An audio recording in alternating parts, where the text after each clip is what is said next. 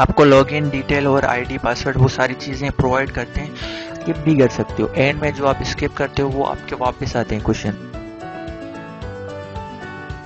welcome back to engineer spade आज का जो हमारा वीडियो है, वो इंटी टेस्ट के स्टूडेंट्स के लिए है, जो कि म्यूट क्विज या एन या किसी भी इंटी टेस्ट के लिए अपेयर हो रहे हैं, क्योंकि रिसेंटली म्यूट की इंटी टेस्ट कंडक्ट हो रही थी और स्टूडेंट ने काफ़ी सारी मिस्टेक्स की तो मैंने सोचा आपको पहले इन्फॉर्म कर दूँ ताकि ये मिस्टेक्स आप सेम रिपीट ना करें किसी भी इंटी टेस्ट में।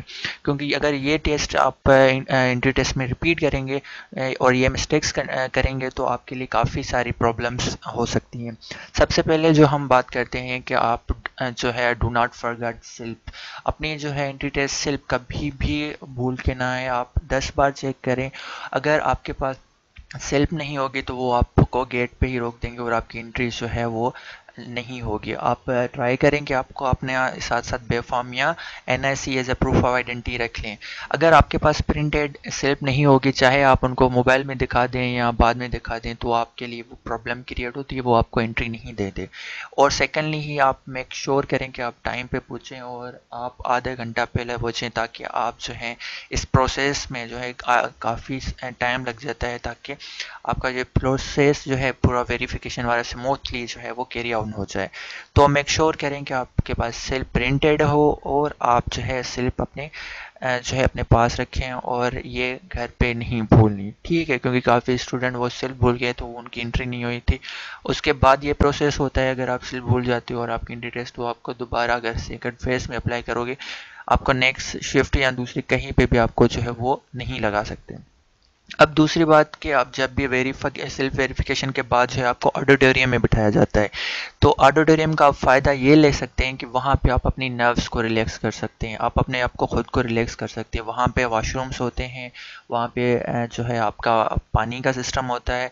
आप अपने आप को रिलैक्स कर सकते हैं। और एंट्री टेस्ट और ये जो इन्वायरमेंट है, इसको यूज़ टू कर सकते हैं। आप इस इन्वायरमेंट में अपने आप को एडजस्ट कर सकते हैं, ताकि आपका माइंड जो है रिलैक्स हो सके। तो ऑडिटोरियम इज़ फॉर यू कि आप रेस्ट करें। आपको किसी भी चीज़ की ज़रूरत है या आपको किसी चीज़ की नीड है तो आप यहाँ पर वो कर सकते हैं।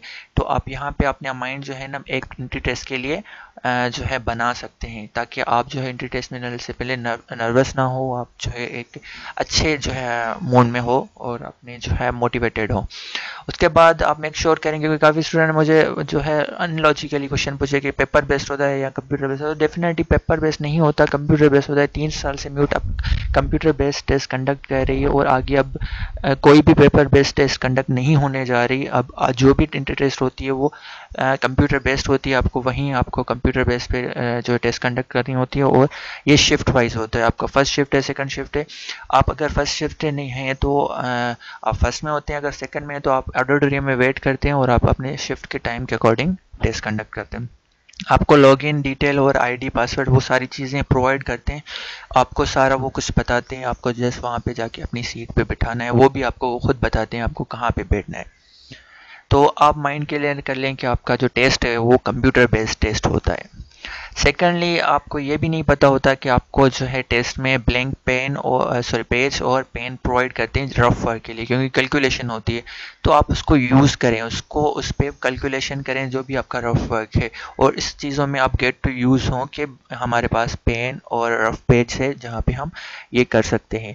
और आपके पास इनफ टाइम होता है वन आवर और आप, आपका जो टाइमर चलता है वो उसको देख के नर्वस नहीं होना रिलैक्स रहना है और अपने आप को जो है कंट्रोल करना है। और अपना जो जो टेस्ट का टाइम है, पूरा यूटिलाइज करना है। ऐसे नहीं कि टाइमर जा रहा है और आप पहले क्वेश्चन पे अटके हुए हो या आप सोच रहे हो कि अब ये मेरी टेस्ट रहती है, ये करना है, वो करना है। आप इस क्वेश्चन को स्किप भी कर सकते हो। एंड में जो आप स्किप करते हो, वो आपके वापस आते हैं क्वेश्चन ठीक है? वो क्वेश्चन आपको वापस रिपीट होते हैं कि आपने ये क्वेश्चन स्किप किए कोई भी क्वेश्चन छोड़ना नहीं है, सारे आपको अटैम्प्ट करने हैं। क्योंकि यहाँ पे जो है नेगेटिव मार्क नहीं होती। यहाँ पे आपकी कोई भी नेगेटिव मार्किंग नहीं होती तो आप कोशिश करें, सौ में से सौ क्वेश्चन करें, क्योंकि काफ़ी दुखी लग सकते हैं। और जो, अब आपको जो क्वेश्चन टफ लग रहा है और सोच रहे हैं, आप इसको एंड में करेंगे जब टाइम होगा तो आप उसको स्किप कर लें। ठीक है ना? वो वहाँ पर ऑप्शन होता है स्किप का ही एस के आई पी वहाँ लिखा हुआ था। स्किप करेंगे तो आपका वो जो है ऑप्शन जो है क्वेश्चन वो आपका एंड में चला जाता है। वो आप स्किप क्वेश्चन में भी देख सकते हो कि आपने स्किप कितने किए हैं और वो आप एंड में आप वो फिर से अटैम्प्ट कर सकते हो। आई होप ये काफ़ी हेल्पफुल हुआ होगा।